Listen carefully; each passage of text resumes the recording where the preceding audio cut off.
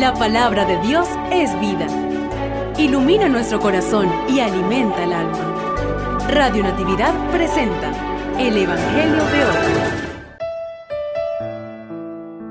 Lectura del Santo Evangelio según San Mateo, capítulo 16, versículos 24 al 28. Gloria a ti, Señor.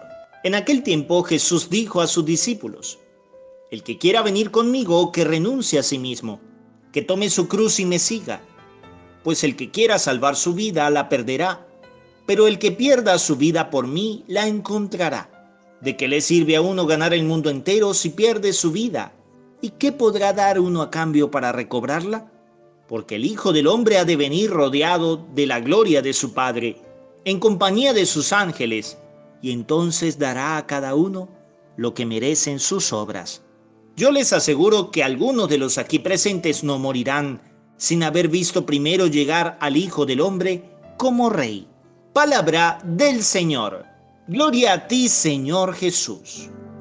Un saludo de paz y bien para todos aquellos que nos escuchan a través de Radio Natividad, la emisora católica del Táchira, donde queremos cada día ayudarte a crecer en la fe en Cristo Jesús.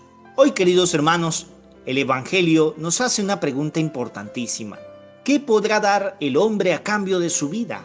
¿Con qué podemos comprar la vida? Con nada. Por eso Jesús dirá, ¿de qué le sirve al hombre ganar el mundo entero si pierde su vida? Dará entonces a cada uno lo que merece en sus obras.